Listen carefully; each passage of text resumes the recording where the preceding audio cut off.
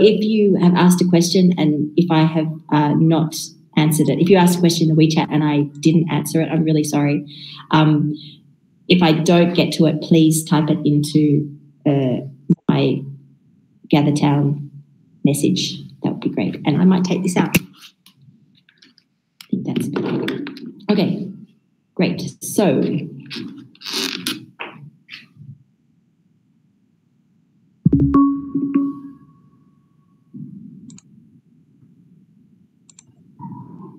so we should be screen sharing now.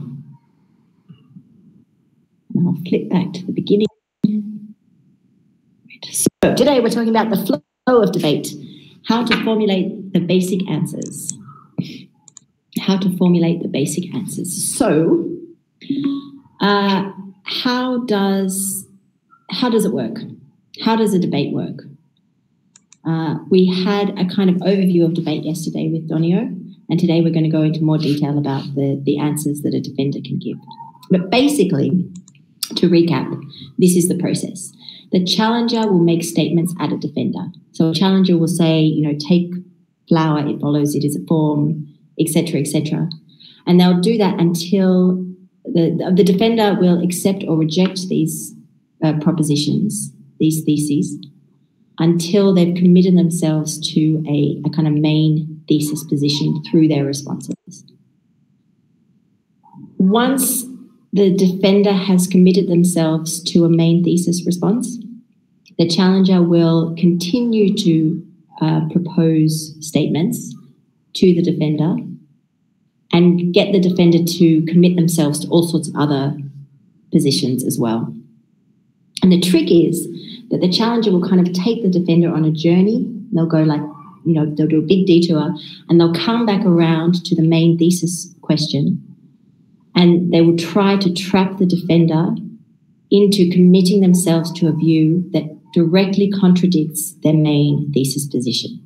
And that's where you get the tsar. That's where you get the big tsar, the final tsar, which, you know, ends the debate because that's when the defender has to admit that their view is contradictory. Great. Okay. So, quick show of hands. Does that generally make sense?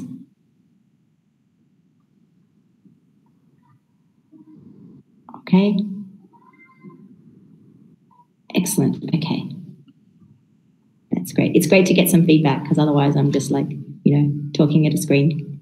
Excellent. Thank you, guys. So, the thesis. All debates begin with a thesis, a statement that can be accepted or questioned. For example, a flower is a form. So, yesterday we did this in the drills. So, this should be kind of clear, maybe. Uh, a thesis is the subject and the predicate, as Donio said yesterday, where the subject is or has the predicate. So it could be a flower is a form or a flower has a form. Either of those would be an adequate uh, thesis. Now, um,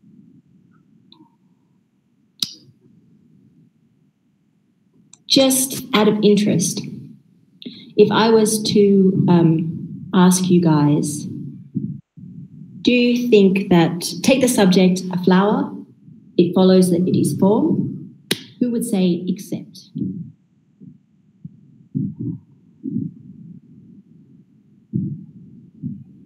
Okay, interesting. Okay. So if I said, uh, who would say why, which is the other response? Who would ask why? Okay, a few people would ask why, but it doesn't seem that there is as many as would accept it. So that's interesting. We'll come back to that.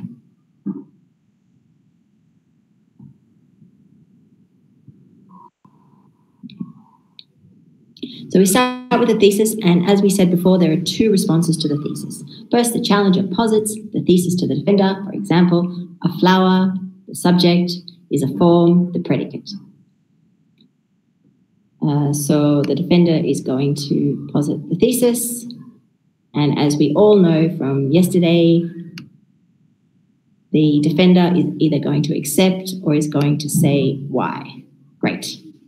Accept means the defender agrees with the statement, i.e., the defender agrees that a flower is a form.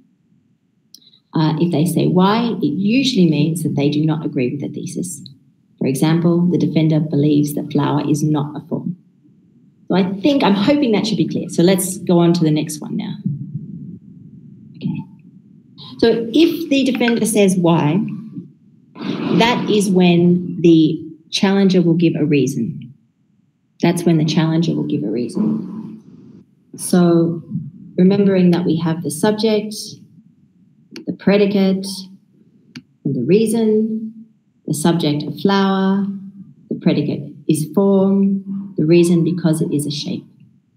So if the defender doesn't but doesn't accept that flower is a form, then the challenger will provide the reason because it is shape, for example.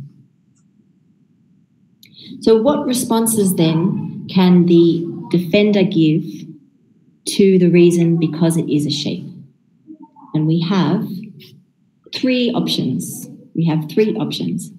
If the defender responds why to the thesis, then the challenger will usually give a reason. For example, the challenger could say, Flower is a form because it is something given over to experience through the eye sensing modality and seen in the domain of visual consciousness, which is our definition of form.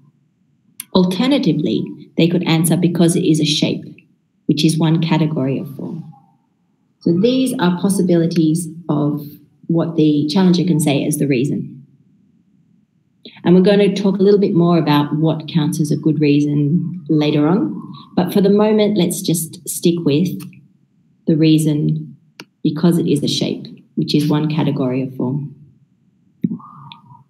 So once the challenger gives the reason, then the defender has three possible responses. They can say, I accept, they can say reason not true, or they can say no pervasion.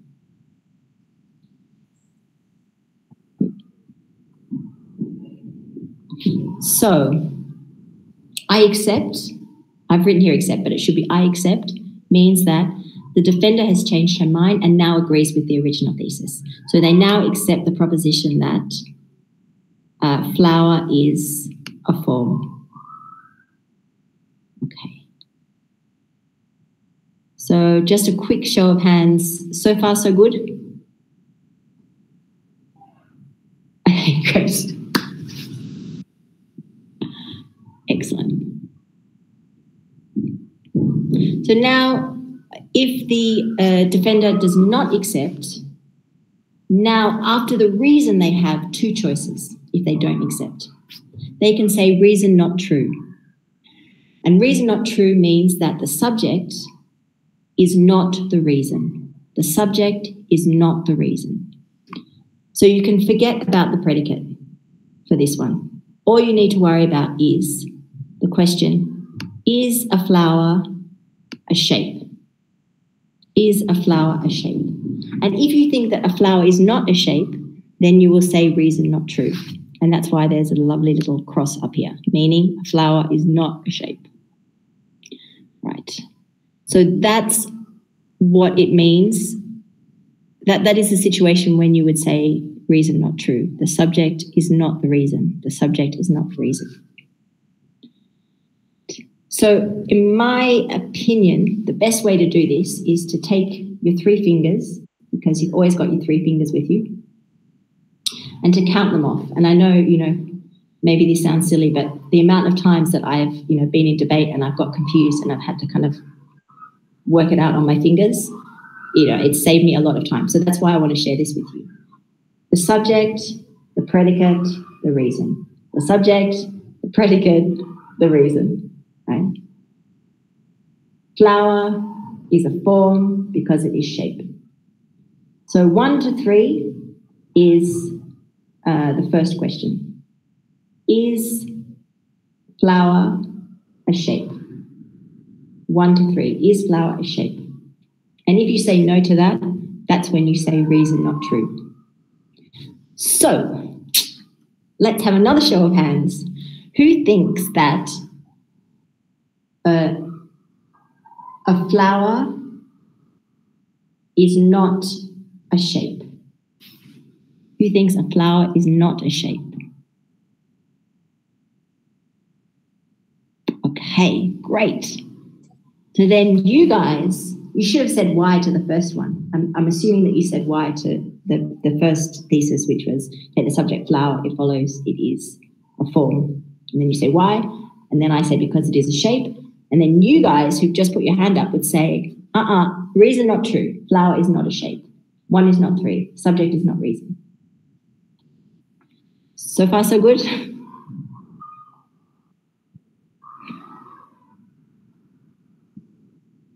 Great. Okay, a few hands. if you're really confused, then don't worry. We'll go over this and it will become clear. So that's the first one. The next one. No pervasion. So if you accept that the reason is true, then the next question you ask yourself is, is there pervasion? And this time, the question is, if the reason, then not necessarily the predicate. So if you accept that if the reason, then not necessarily the predicate, that's when you would say no pervasion. So here it means that uh, no pervasion would mean that uh, if something is a shape, it is not necessarily a form. So not everything that is a shape is a form. And in this one, you can forget about the subject. You can leave that behind. That's why it's in gray, right? So everything, if you accept that everything that is a shape is a form, you would accept there is pervasion. If you do not, if you think that there is something that is a shape that is not a form, then you would not accept pervasion. So the question you ask yourself is, is there, is everything that is a shape If you think the reason is true, so if you've, uh, you've accepted that a flower is a shape. And you can think of an example of a shape that is not a form, then you will answer no pervasion.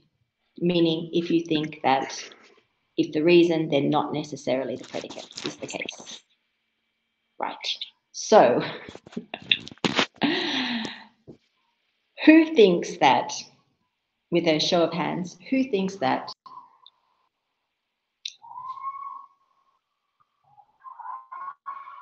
if something is a shape, it is not necessarily a form. Who thinks that if something is a shape, it is not necessarily a form? Oh, I didn't have the screen share on. I'm so sorry. Let me put it on. Okay, I'm so sorry, yeah? Now you can probably see a little bit better. If the reason, they're not necessarily the predicate. If a shape, they're not necessarily a form.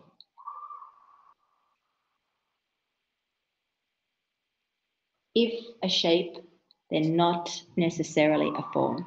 So if you can think of an example of a shape that is not a form, then you will answer no pervasion. So now we'll try show of hands. If the reason, then not necessarily the predicate, i.e., if something is a shape, it is not necessarily a form. Who thinks that's the case? If something is a shape, it's not necessarily a form. Great. Okay. Couple of people. Excellent. So if that's you, then you're going to answer no pervasion. right? So I am going to ask, just to be really annoying, somebody that just put their hand up, maybe you could, um, uh, maybe you could write into the chat what an example might be of that no pervasion. What is an example of something that is a shape but not a form? That would be great. We just got a question. Oh. I'm really sorry, guys. I'm still getting used to this screen sharing business, so I'll have to forgive me for that. Right. Uh, so Sonam Rigzin has just said a cloud. So that's great. So this means that according to Sonam Rigzin's position, a cloud is something which is a shape but not a form. Uh, oh, and we've got another one, an image in my mind. Lovely. So according to Andreas, an image in his mind is a shape but not a form. Great, excellent. I'm really glad. I mean, these are super duper like uh, things to start debating about.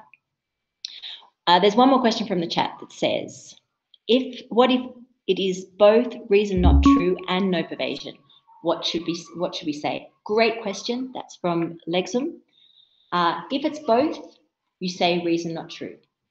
First, you ask yourself if the reason is true, and if it is, then you ask yourself about no pervasion. But if it if uh, if it is both, you would say reason not true. So looking at the fingers, it goes like this. Flower is uh, form because it is shape. Is flower shape?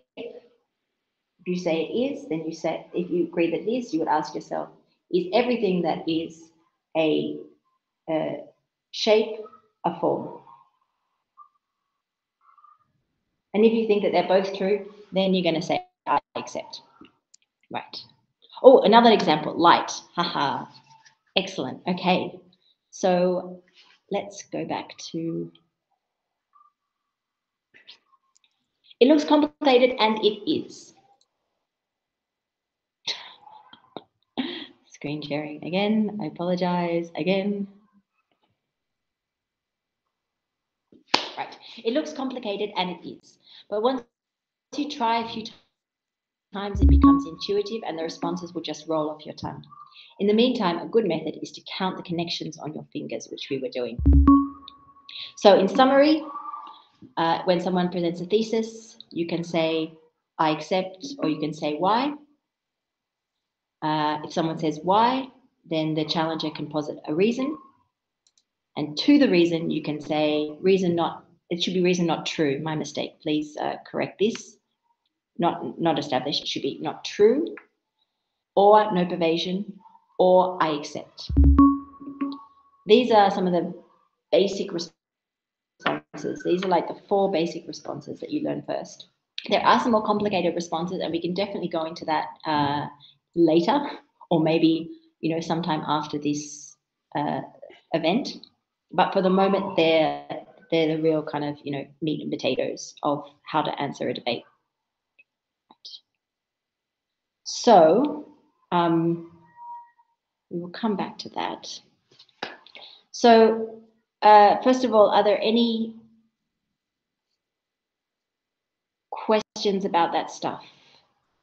Like any any questions that that you think will prohibit you from trying these out?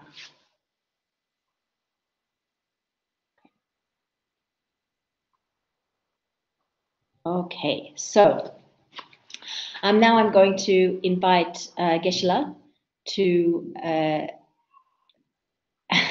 go through some of the drills with me. This is the easy part, um, to go through some of the drills with me. Uh, and we're really lucky to have him, so I really appreciate his being here. Um, and uh, uh, I will share the screen again, and we'll just go through a few examples of the drills so you guys can get a good idea. Okay, great.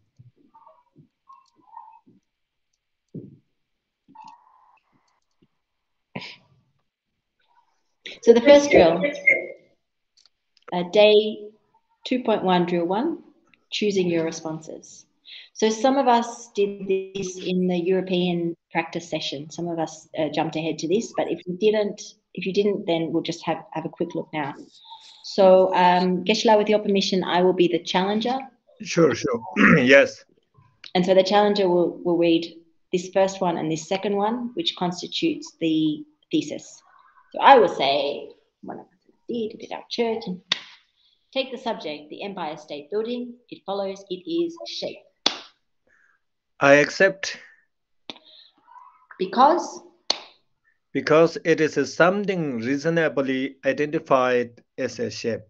Great. So that's the definition, yeah? Take the subject, the Empire State Building. It follows, it is high shape. I accept. Uh, it follows it is high shape because because it is shape characterized by tallness. Excellent. Take the subject, the Empire State Building. It follows it is even shape. I accept Uh, it is even shape because because it is shape characterized by evenness or flatness. Great. So you guys get the idea. Keep in mind that if uh, Geshe-la says why, then I will respond with the reason, and then he will respond with either reason not true, no pervasion, or I accept. So that's drill number one. Drill number two is similar, but this time we have to provide our own reasons. We have to provide our own reasons. So uh, let's let's try, shall we? Sure, sure. So take the subject, the smell of garbage. It follows that it is smell.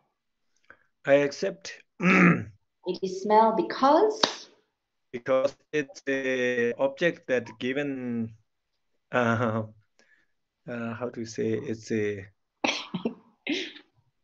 uh, uh, sensory what uh, I forget it almost um yeah can you help me how to it uh, um, yes, I can. I'll just let me just come back to uh, turn the screen sharing off for a second.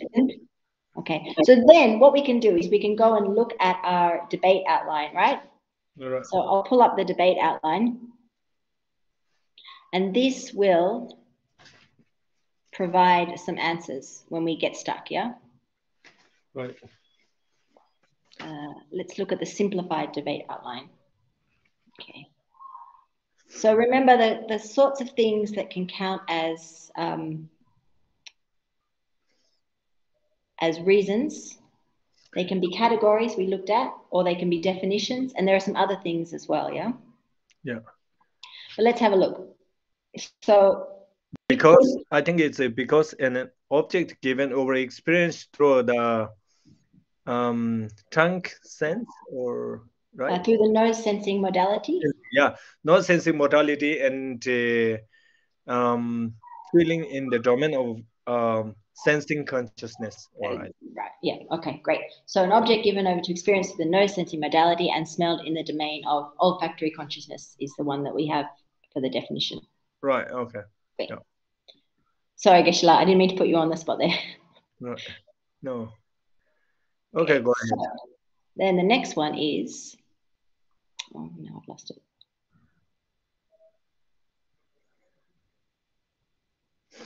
Okay.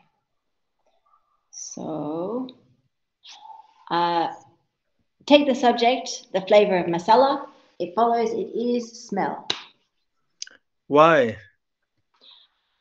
Uh, it is smell because, and we can go back to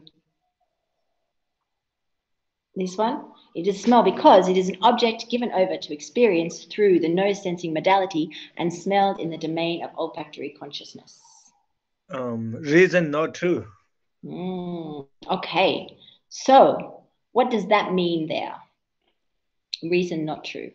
That means that, well, let me, sorry, I'm jumping around everywhere. yeah Okay. because So that means that for Geshe-la, uh, the, the subject is a taste of masala, the predicate is, is a smell, and the reason is because it's an object uh,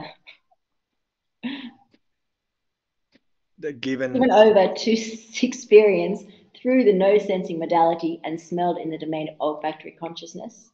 So that means that for Geshe-la, he doesn't think that the smell of masala, the, sorry, the, the taste of masala is an object given over to experience through the nose sensing modality and smelled in the domain of olfactory consciousness.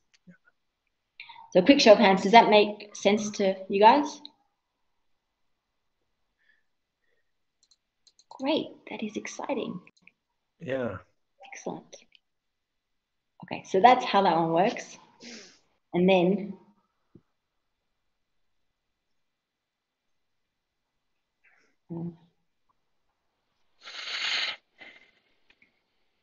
and then drill three. uh, this is where we'll focus particularly on reason true or reason not true.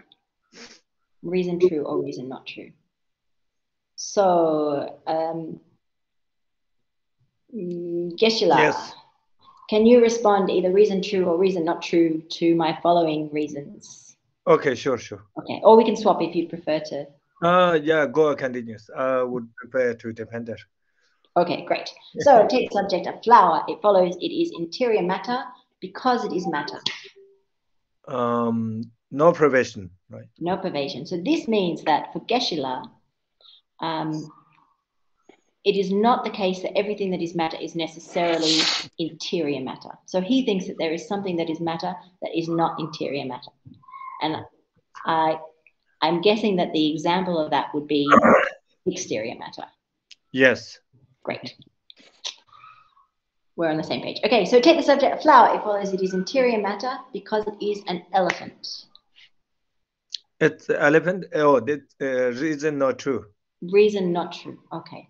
So here, Geshe-la uh, thinks that um, a flower is not an elephant. That's right. So take the subject of flower. It follows it is exterior matter because it is matter. Mm. Uh, no provision. No pervasion. Great. So Geshe-la is giving like the, the correct answers, yeah?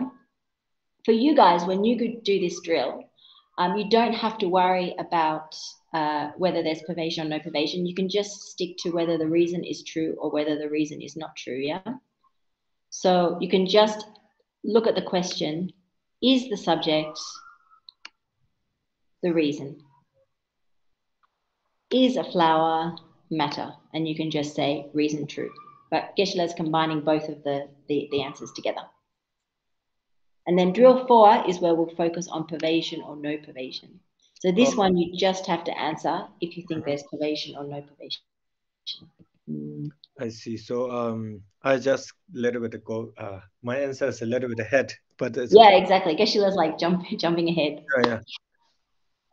Okay, so uh, so for this one, um, uh, we can we'll just look at the pervasion for this one. Take the subject flower. It follows it is interior matter because it is matter. So Geshe-la is going to answer based on whether he thinks everything that is matter is necessarily interior matter. right. And so based on his answer for the last one, I'm guessing he's going to say no pervasion. Is that right? Yeah, yeah. That's uh, uh, perfect. Correct. Take the subject of flower, it follows it is exterior matter because it is an elephant. Uh, reason not true. I think yeah, this is the good illustration. Even we habituate, but not the, you know the question. One of the uh, our you know participators question is really great. That's uh, even I was have to think about that.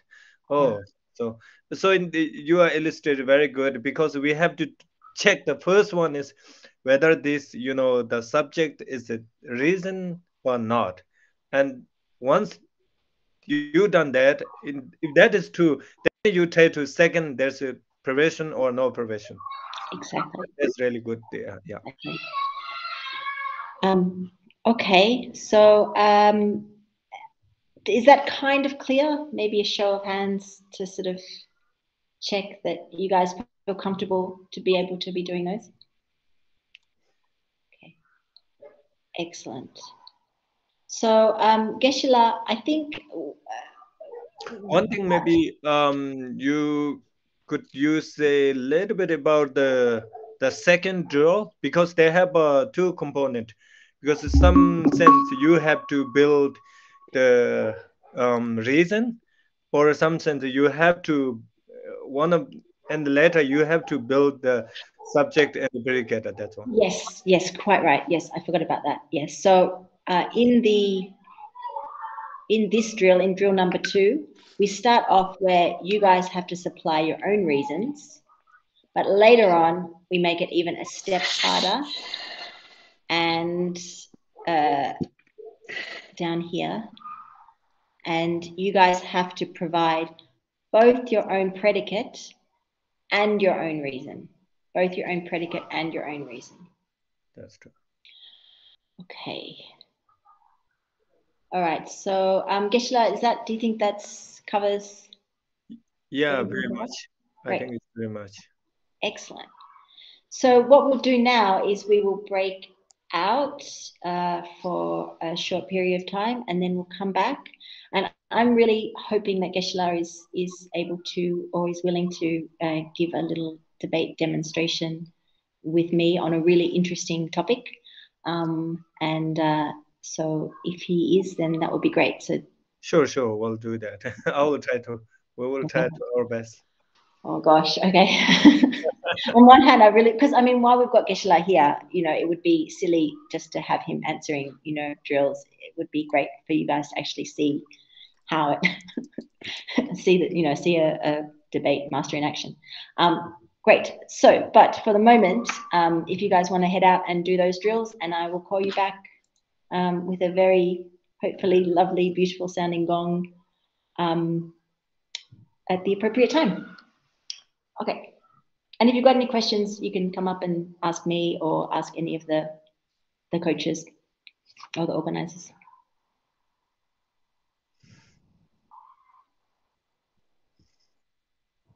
Uh, yeah.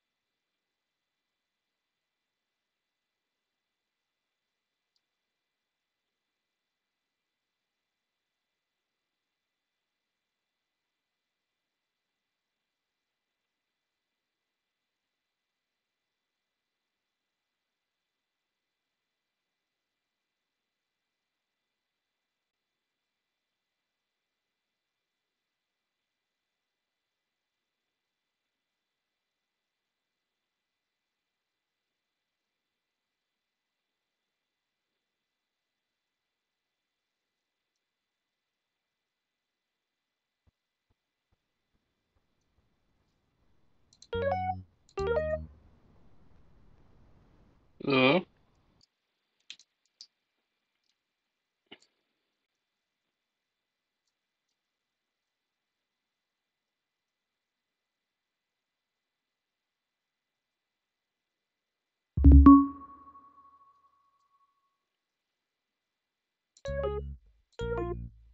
Okay, so um, should I go first or?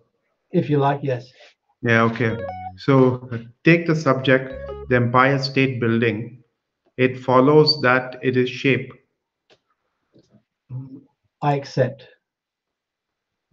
because because it is something reasonably identified as shape. okay. Take the, take the subject, the Empire State Building. It follows that it is high shape Why? Because it is a shape characterized by tallness. Um, reason not true. Okay. Okay, then I'll do two now. Yeah. Three and Take- four. Take the shape, the Empire State Building. It follows. It is shape. It, it is sorry. It is an even shape Why? because it is a shape characterized by evenness or flatness. Because it's shape, reason not true. Okay, then the next one, uh, take the subject sound waves. It follows that it is sound. I accept because, because it is an object given over to experience through the ear ear sensing mod, modality and and heard in the domain of auditory consciousness okay. Okay, then you, you well, go next. Yeah. we got one more person actually that's uh, probably Oh. wants to join in. Uh, Hello, Bazumba. Hello, Mark. Kate Basamba. I, I thought it must have been you. Hello. Yes, uh, nice to see you. Hello. Yeah. Hello. This is Dominic. Oh, Dominic, hi. Hello. And then you're in uh, Bali? Yes. Ah, yeah. Still haven't left Bali. Beautiful Bali. All right. So then, uh, do you want to um, have a try? Oh, what are you doing now? Uh, we're in um, the uh, drill uh, one, so day 2.1, drill one. Um, and Choosing it's your just, responses. mm, just the read through. Yes. It's a read through, but we have to choose which one. Mhm. So we're up to five, number five. Mhm.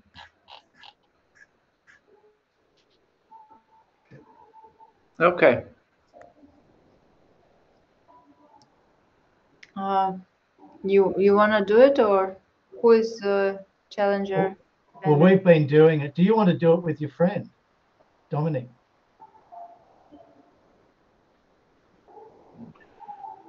um, I was just interested in to see how other people doing it because we were doing the drill this uh, uh, afternoon already. Hmm. Okay. Okay, Elroy, do you want to go with Kate? Yeah, I will go ahead.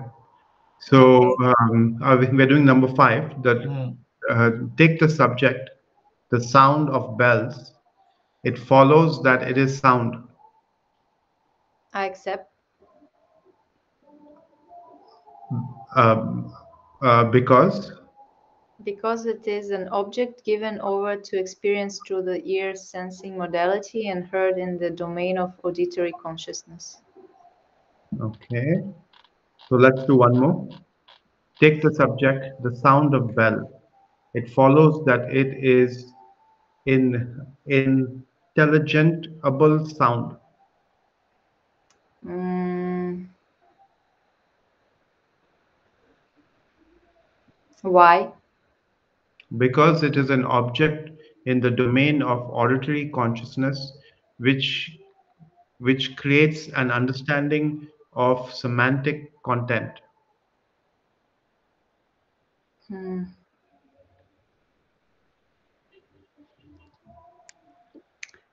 But how would I do this if not all the sound of bells are like that? uh, then you can say reason not true But in a way, it is. uh, maybe actually we can ask the the this actually the, the the person with the flower Well, Yes.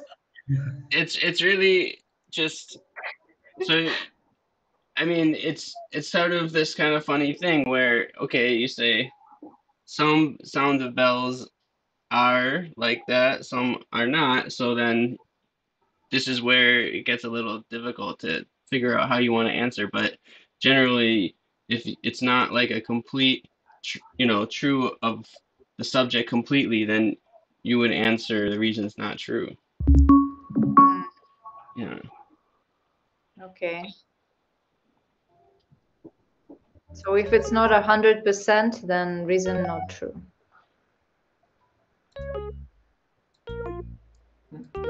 And then um, um, Elroy would have to say, give his reason why it's true, I guess. So yeah, he would. that, that, would, that would be in the next practice round Yeah, that would be sort of like the next extension. Yeah. Yeah. Okay. Then what's next? Number seven. seven and eight yeah Okay. Then I'll go. Um, take uh, take the subject, the word hello. It follows that it is sound. I accept Because uh, because it is intelligible sound.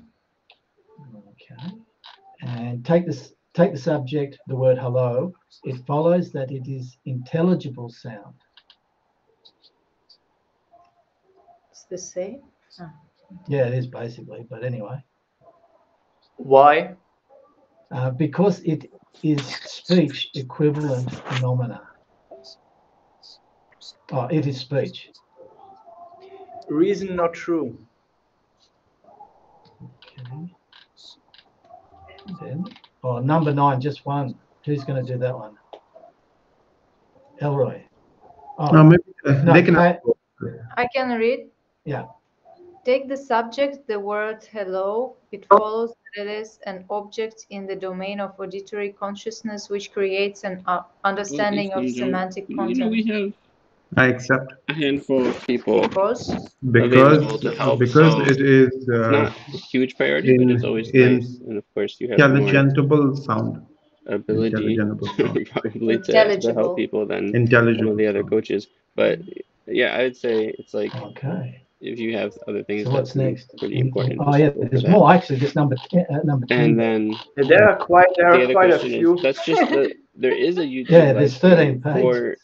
People who Okay, didn't want so to come who's together next? town slash for people who want I to watch it later. take so the the live stream then cats automatically gets you know stored on YouTube, that so that way people can go back and watch it later.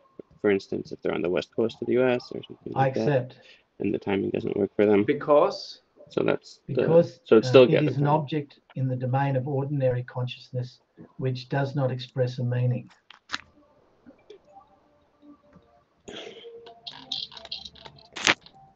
Take the subject, the gesture of a hand wave. It follows that it is intelligible sound why? Mm, because it creates an understanding of semantic content. No pervasion.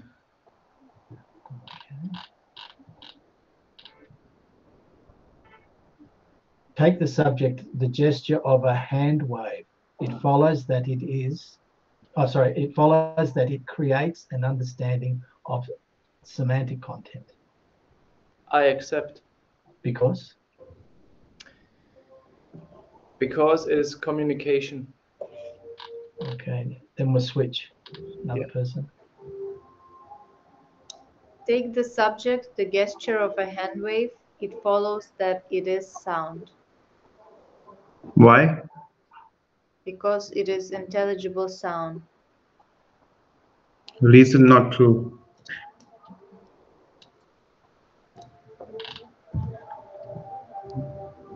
Uh, take the subject, an explosion. It follows that it is sound.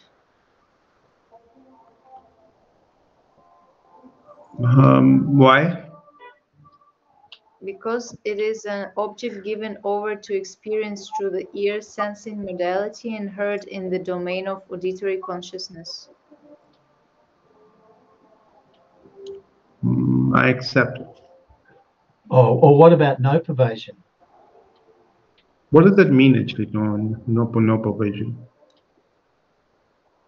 Uh, Uh, it means that uh, an explosion can be something else apart from sound, right? Yeah, it's not necessarily sound.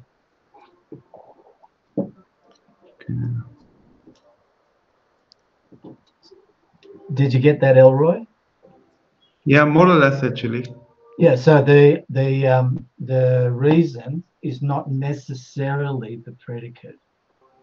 Okay. Yeah. I think that's what no pervasion means. Is that right, Genla? Yeah, that that's exactly right. If it's the reason, it doesn't have to be the predicate necessarily. Yeah, Okay, okay. and we'll actually cover that in the next session a little bit more in detail, a little bit more, so it gets clearer. Yeah, but really, just repeatedly doing these examples is what makes it the most clear. Maybe if we said the sound of an explosion um, would might be different then. Can we do, can we distinguish like that, um, Genla?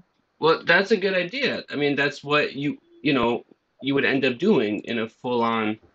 To if you really pulled, went beyond these drills to keep the debate going, you would have to start doing that. You would say, well, there's no pervasion with an explosion, but then what about just the sound of an explosion? You know, you would try different subjects and try to hone in on really what you mean. The idea here, of course, is that well, is an explosion by itself is its kind of main nature is it sound is it visual is it just the chemical or atomic reaction itself what actually is the explosion that's sort of the you know the question like the percussive force or something like that. Yeah. Right, right. A force which might even be, you know, not necessarily matter, but more energy or something, right? So it's it's open and to. to- and yeah. yeah. Okay, so then uh, the next one. In this case, uh, uh, Sorry. where is it? where is it? With the explosion, the subject is uh, goes well with the predicate. It, so it's not no pervasion, right? Um, it's basically up to you to see what you're what you feel is the most appropriate answer. What what you think is an explosion. Now, it's sort of it's not something that's like clearly defined, at least that I know of. so that's why it's a good debate question. Hmm, An explosion can be more than Can one you also say no pervasion if the reason doesn't go to the subject, not to the predicate? If the reason doesn't go to the subject, that's when you say the reason's not true. That's when you give the reason's not true response. So in this case, uh, in 14, it's reason not true if we choose Y. Um, what? it- Hold on, let me look at which one it is. Which one is it again? Take, take the subject an explosion, it follows that it is sound. Um, well, oh, I see. Um, oh, that's the bell. I, I mean, I just, I would probably personally say it's not sound. That's my understanding of an explosion. but I'm not gonna tell you that you have to answer that way because, you know, you might have a different understanding of an explosion, and that's where we would go out and then have to clear, more clearly define what we really mean by an explosion. Is it the boom? Is it the sound? Or is it just the fact of a large amount of energy quickly, you know, emitting from a source and moving outwards that causes destruction, like Mark said? Yeah, so And in it's really a physics. I mean, a physicist would know a lot better what an explosion really is. yeah, but even if we don't really know what it is, just going with this, uh, choosing the answers, if we choose why Yeah. and give this reason, uh, then it would be reason not true. Oh, okay, okay, I see. So if you if you yes, you would you would probably say reason not true if you were already denying the thesis, right? Mm. Yeah, exactly. That one should come first, like um, they, they said in the lecture. The, Yeah. the reason not true comes first, comes before the no pervasion. So I think you're right there, Kate. Yeah, for sure. Yeah. Okay. Good point. Good point. Good point. Was Uh, that the then- sound of the bell or no? Uh, Maybe I heard something else. It was just some other background noise. Okay, good. Okay.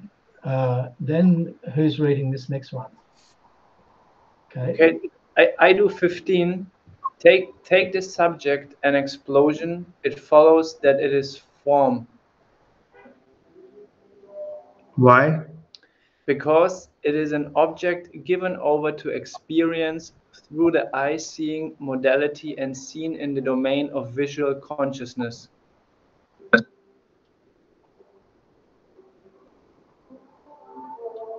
A Reason not true. Mm, the same as the last one. Yeah, it depends on how you understand the explosion. Yeah. Uh, then But it would be form anyway, because it is either heard or seen. or felt. It can be hot as well. You know. Yeah, that's it could blow you apart. You know. then it's not so good. Um, okay. Okay. Six, Yep. 16. Take the subject an explosion. It follows that it is not sound.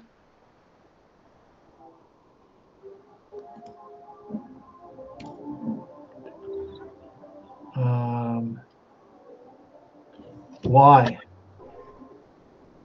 because it is not matter. Oh. explosion is not matter. Uh, whatever is not matter is not a sound. Whatever is not matter is not necessarily a sound. Mm, I, I don't know what to say here, to be honest. Whether it's reason not true, no pervasion, or I accept. I guess reason not. true. Yeah, I would I, I would also say reason not true, but Because an explosion uh, doesn't go with uh, not being matter. Oh, an explosion is not matter. Yeah, yeah, exactly. Correct. It, it is matter, so it doesn't go with Mm. not. yeah, with the negation of matter. Yeah, yeah. Yeah, I just had a senior moment, Kate, so. It No, it, it's really it's quite interesting when you like when you think about like these things in this like special way. It's Mm. no, it's quite challenging though. Okay, number 17. Yes. Um, take, take the subject, the Big Bang. It follows that it is sound Why? because it is an explosion. Uh?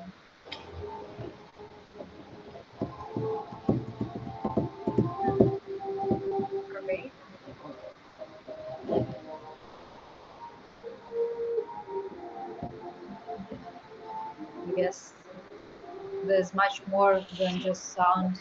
Yeah. Yeah, yeah. Yeah, okay. Then uh, take the subject, Beethoven's Fifth Symphony. It follows that it is intelligible sound. Why? because it is sound which expresses meaning. No pervasion, pervasion again? No. Uh, because intelligible sound expresses meaning. Ah, yes. So, So- reason not to. Huh. Okay, yep. Uh, This- then who's next? Oh, sorry. Elroy. Elroy. 19. Take the subject, smell of incense. It follows that it is smell I accept. because Because it is a fragrant smell. okay. Take the subject, smell of incense. It follows that it is natural smell Why? because it is it is a smell that does not arise from mixing ingredients.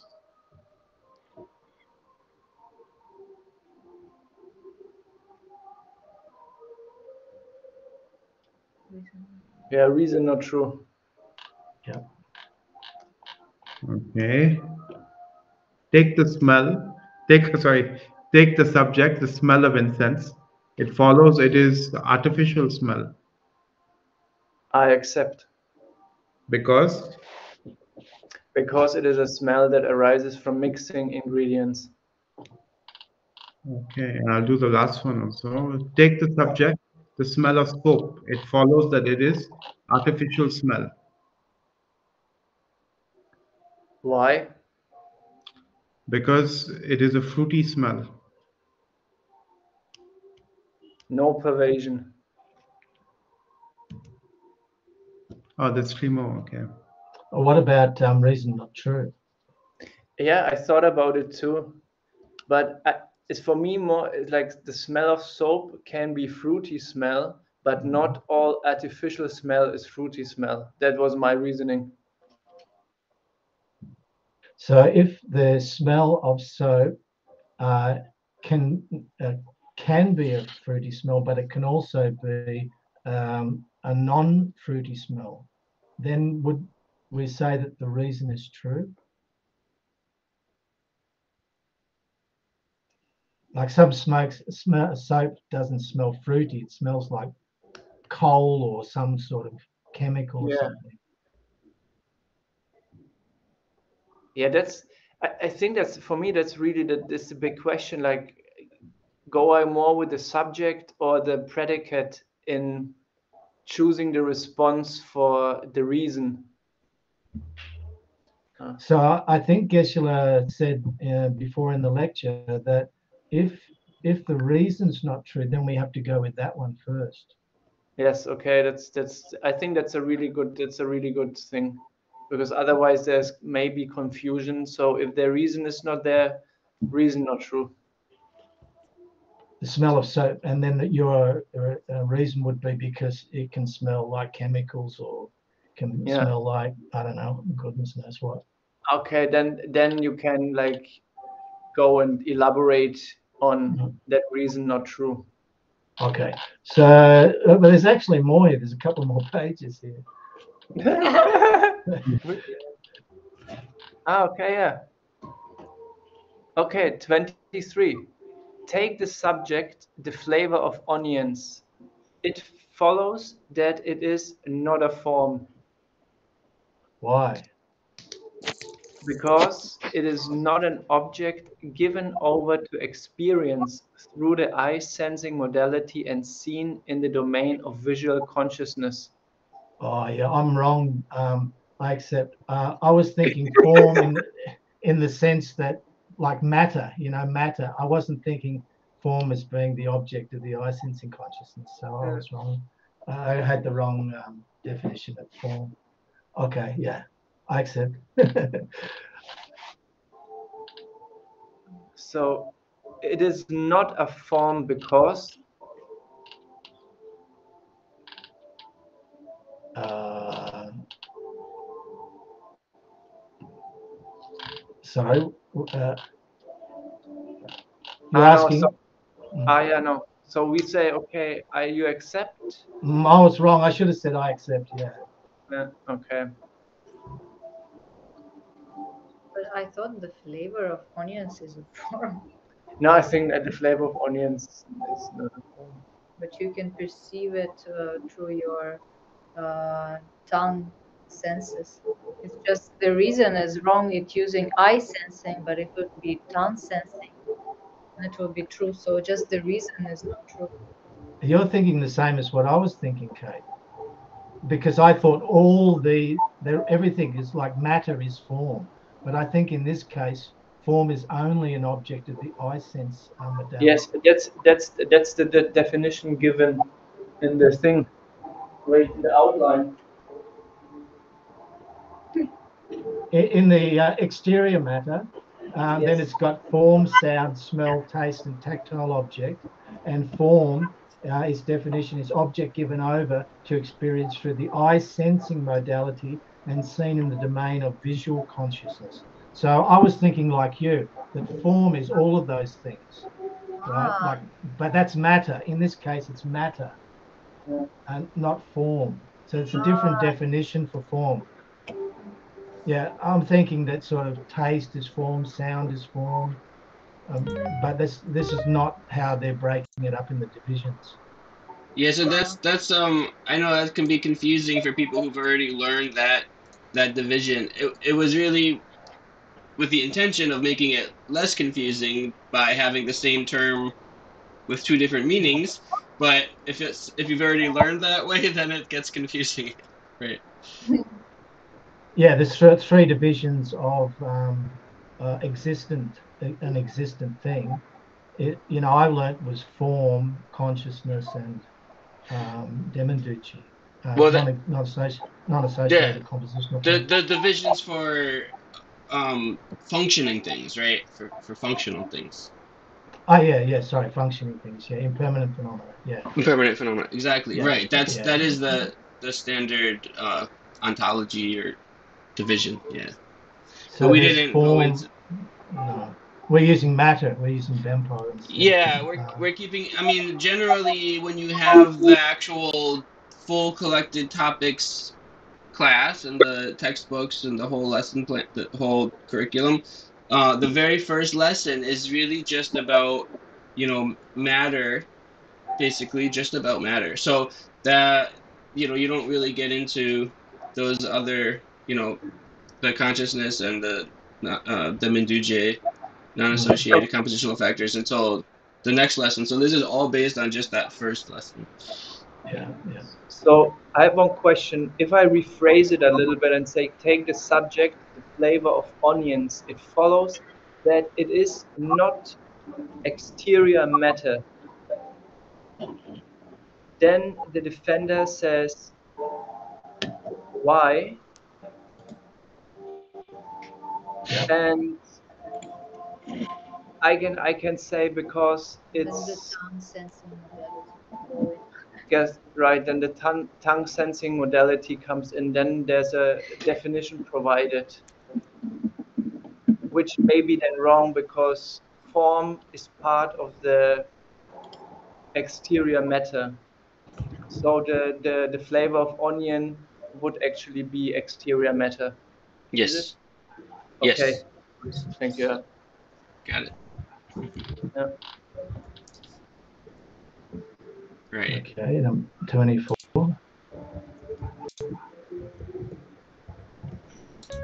Take the subject onions. It follows that it is um, not a form why uh, because it is a taste. reason not true Okay, yeah. Take the subject, the flavor of onions. It follows that it is not a smell I i accept uh, because because it is not a fruity smell. I don't know why the fruity came in. Because Oh, I would say because it is a flavor. I thought flavor is something to do with taste. Maybe I'm not right. yeah, this. no, that's correct. That's a uh, the um, the reason's a little funny.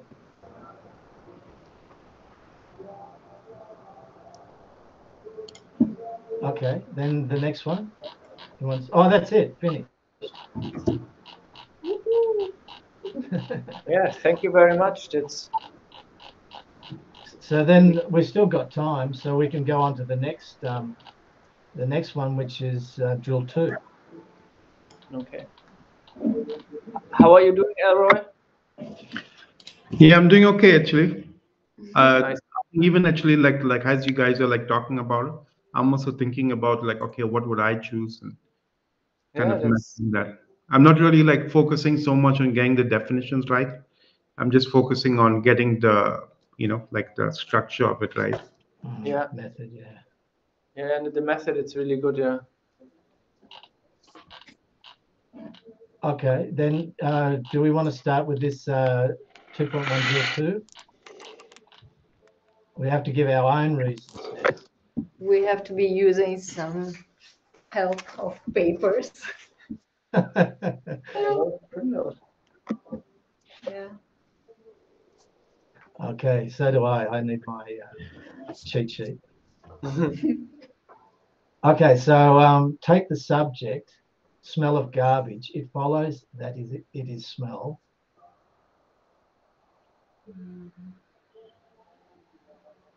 I accept because because the object given over to experience through the nose sensing modality and smelled in the domain of olfactory consciousness. okay, that's the definition. Yep.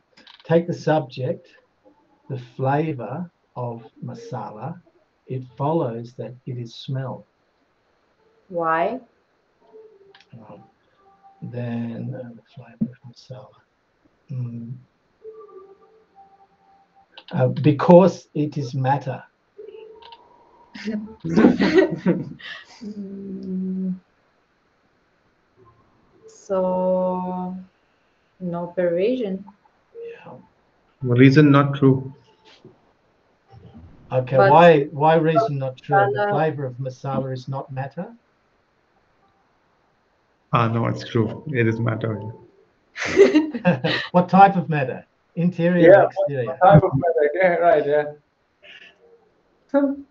Um, it's um, it is uh, like uh, like um, uh, smell matter. Exterior, Exterior, or interior? Uh, Exterior? I think it was the bell. Uh, What is, is, is the is the uh, lecture continue? I, I had I heard a bell, but I'm not sure. Um, No, no, I think that's the my. plan is to do a little bit of like demonstration of a more elaborated debate with with uh, Geshe-la and Joe, but yeah, that that, that wasn't the bell because we would see Joe's camera come up if that was the bell. So maybe she, That's my there's, phone. only, there's like again. one minute until the next. Okay. My phone again. I'm sorry. Okay, But then yeah, it's, just keep, keep, keep on going. yeah. Okay, that's good. So Now maybe Yuri. okay, take number three. Take the subject, the flavor of masala. It follows that it is taste. Elroy. I accept. Um, it is taste because It is taste because it can be experienced through the tongue consciousness. yes. Next. Take the subject, uh, a feather. It fel- it follows that it is tactile object. I accept. It is tactile object because It is tactile object because uh, because it has uh, it has a physical form.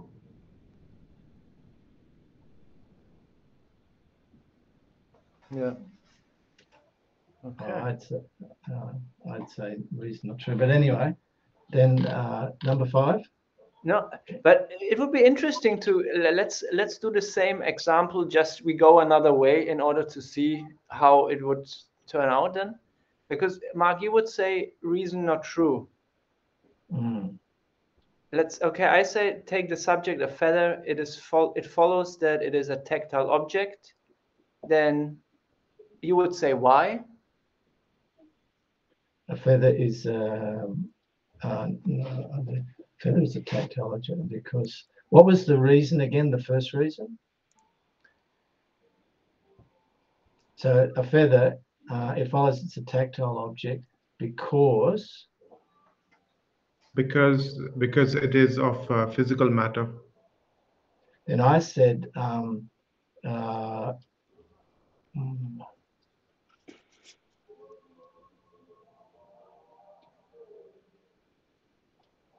uh, Mark, then- are you trying to give another reason or what?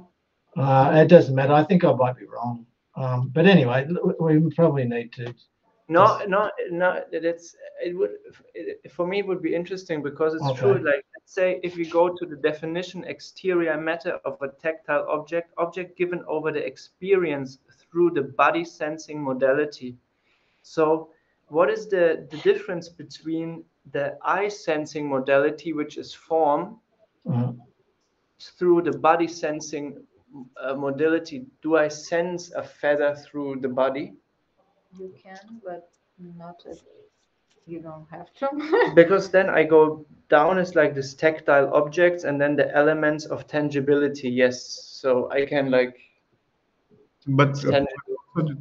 the the uh, the question is is is is is not if it is only a tactile object. The question is is it a tactile object?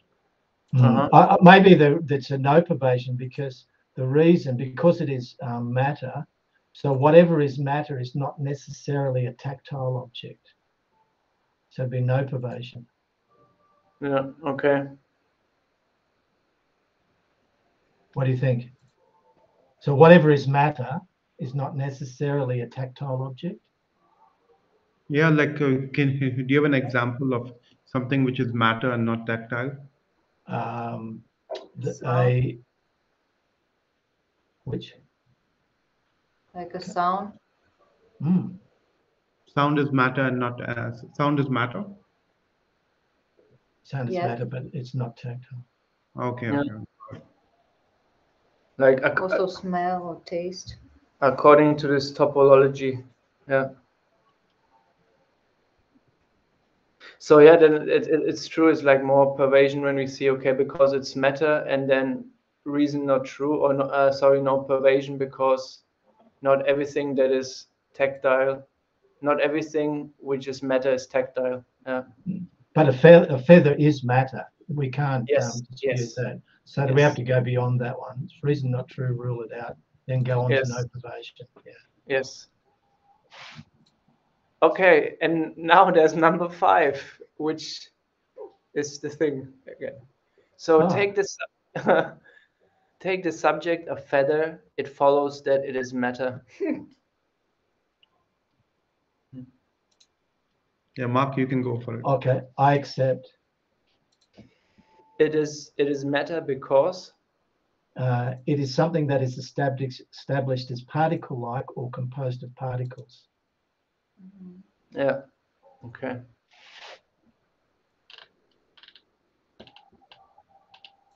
Okay, I right.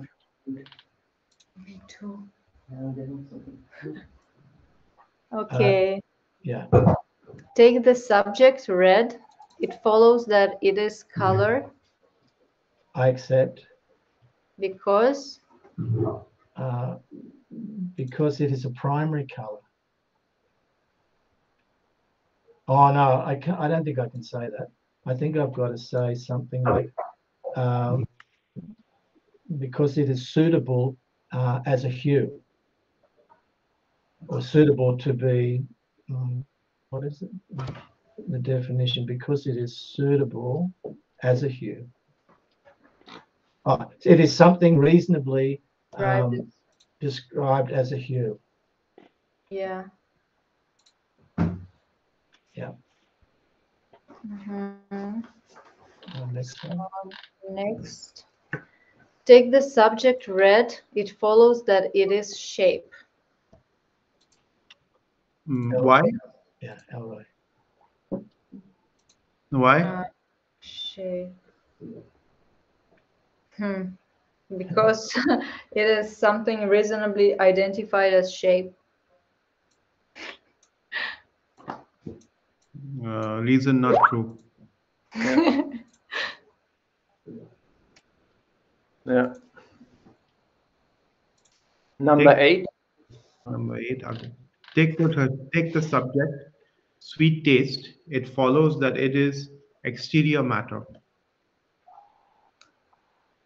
Why? Why? Because uh, because it it it uh, it is experienced through the through the nose consciousness. I accept. Okay. So I'll do the next. A sweet taste is experienced through the nose consciousness. Ah, sorry, through the tongue consciousness.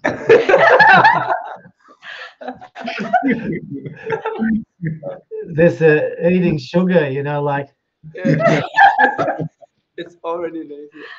So, ladies and gentlemen, thank you so much for your participation in this breakout session. Uh, if you would like to slowly make your way back into the temple, that would be lovely. okay, thank you so much. Uh, nice to see you, Kate. Thank you very much. I've been following you on, on Facebook. it's good to see old friends. That's great. Yeah, yeah, yeah.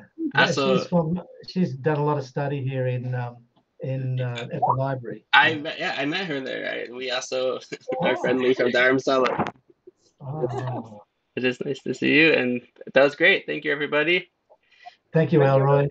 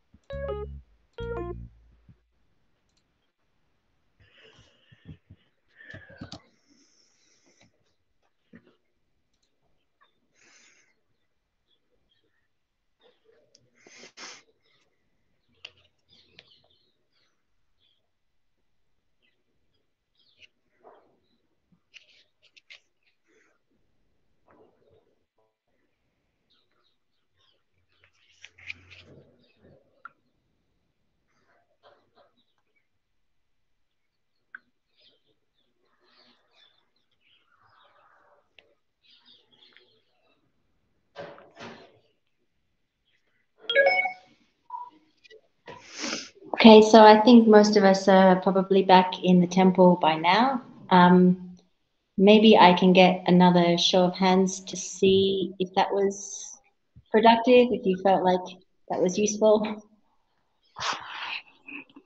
Oh, great. Awesome. I'm very, very glad to hear it. Um, so uh, maybe Geshe-la, would you like to, uh, shall we do a little demonstration? Ah, sure. Um, you would be the challenger. Uh, I will try. okay. Yeah. Okay, so I don't know if I'm crazy doing this. Anyway, what happened? Đi đi đạo chưa chuyển. Can you explain what you are doing at the beginning? what that? Uh, so we, I think uh, Donio uh, gave an introduction to Okay, okay. this today. Okay. Good. Uh, this is a, for those of you, just as a recap, this is a, an, an invocation to Manjushri. Uh, but I guess Geshe-la would know more about that than, I would. He would be able to explain. Did you want to say a few no, words no, about no, no, just as a tradition, uh, we do that at the beginning, but uh, but there's some reason the or you know the religion's reason we are just kind of believing once we reciting to the Manjushri as a um, wisdom, uh, God of wisdom, or how to say, I don't know, Buddha of wisdom. Mm. So um, we will get more wisdom and more intelligence, more sharp your mind, um, uh, sort of that uh, purpose. But uh, we don't necessarily to do when we're doing a circular, completely secular way. Okay, so Geshe-la, take the subject light. It follows, it is matter. Oh, um, light. I accept. So take the subject matter, it follows, it has a definition. Uh, I accept. What is the definition? mm, Uh, something established um, particle like or is composed by a particle. Something establishes particle-like or composed of particles. Take the subject, something establishes particle-like or composed of particles, it follows, it is matter. Uh, I accept. Hmm. So take the subject uh, light, it follows, it is particle-like or composed of particles. I accept. I accept. So take the subject light, it follows, it is a wave. Um, uh, I accept. So take the subject away. wave, it follows, it is matter. Mm. Um, I accept. So take the subject away. wave, it follows, it is particle-like or composed of particles. Uh, I accept. This one is very tough one. Uh, so Yeah. take the subject that which is particle-like or composed of particles, it follows, it has a definite location. uh, I accept. So take the subject a wave, it follows, it has a definite location. Oh, reason not true. Reason not true. So the reason is true because it is matter. Uh, uh, reason not true. Still. Okay. So take the subject light, it follows, uh, take the subject a wave, it follows, it is not matter. I accept. So take the subject uh, You forget. Light. Ah, take the subject uh, light, it follows, it is it is not a wave. mm, it is not wave. Um, I accept. Uh, so take the subject light, it follows, it is not matter. Um, no matter. Can you repeat again? Uh, take the subject light, it follows, it is not matter. Um, no matter. Reason not true. Uh, so uh, light is not matter, and then comes. no, no, no. Uh, what I'm saying is that light is uh, the matter, but the web is not matter. Light is matter, Uh-huh. but wave is not matter. Okay, so take the subject light, it follows it is not a wave. Uh, not wave. Reason not true. Okay, so take the subject light, it follows it is not a wave because it is matter. No, no pervasion. No pervasion. So take the subject. Just okay, let's clarify. Okay. Light is matter, Yes, okay. and also a wave. A wave is not matter. Um. So, yes, web. It. Uh, uh, yeah, it's not matter, but Okay. not pervasion. There's also one. One of the example that could be both. Mm, okay. So take the subject, that which is uh, something which is both uh, a Matter and matter and a wave. hmm Uh, it follows there is an example. Yes. What is the example? Um. Light. Light. Okay. So take the subject. Um, uh, So maybe example is the color of red. the color red.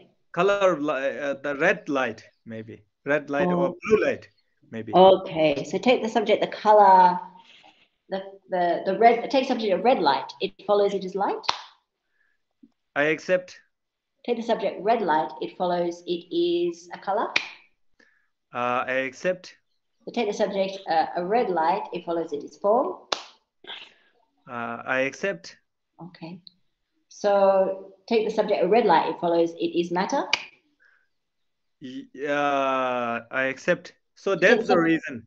Reason why I accept the light is matter because light has most light has color, and the color has to be form, and the form has to be mat external matter. So that's uh, how to.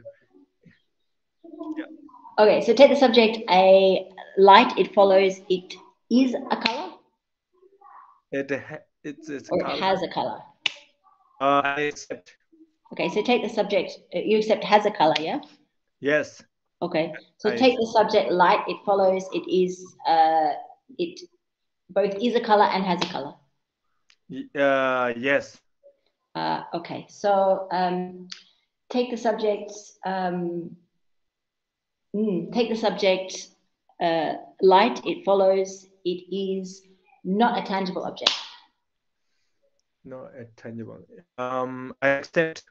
Okay, so take the subject light. It follows. It is a tangible object. Uh, yes, uh, I accept. It, it is a tangible object. Or Uh, or tangible not. object means a rector, what? Reksha. Uh-huh. No, uh, uh, it's a reason not true. Reason not true. So take the subject light. It follows. It is not a tangible object. I accept. It follows. It is a tangible object. Uh,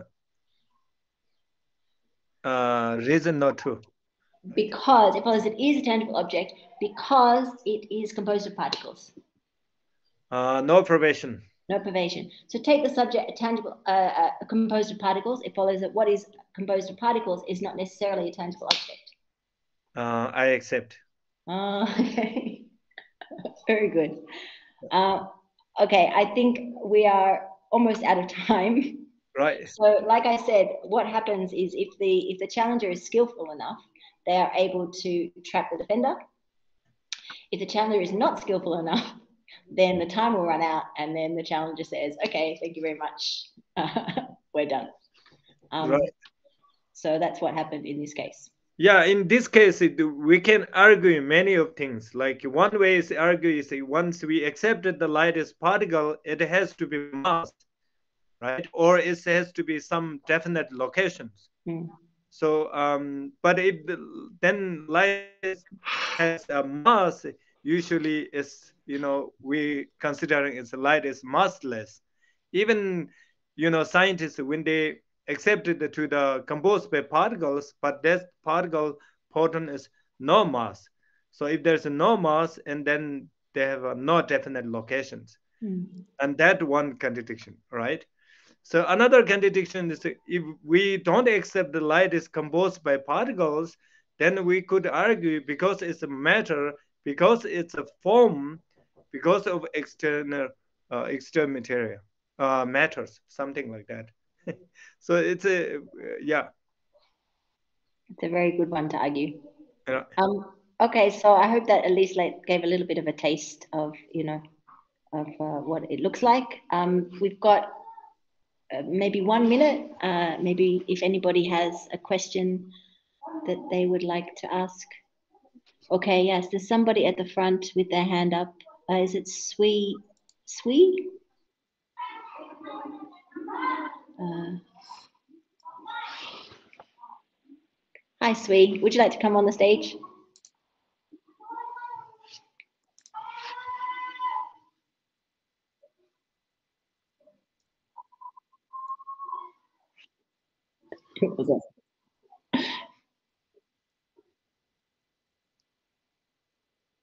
Yeah, yeah, yeah, please.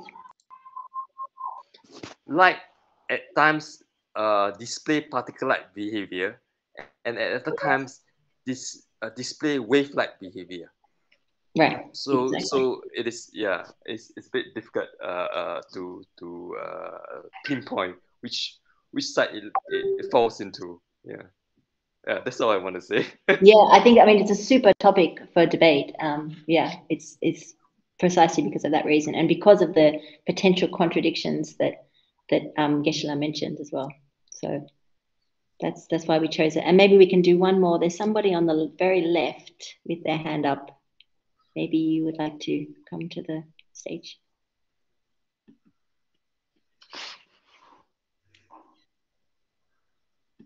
Hi.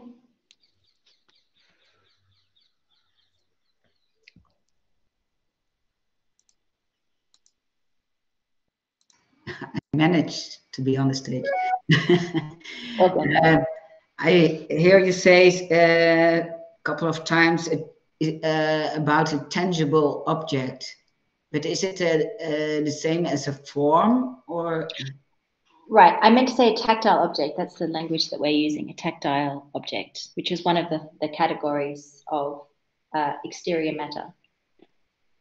Um, but is it same as form or Right. So um, on our system, on our, on the way that we're using the language, uh, according to the the um, debate outline, uh, there are five types of uh, exterior matter, and there's form, sound, smell, taste, and then tactile object, tangible object.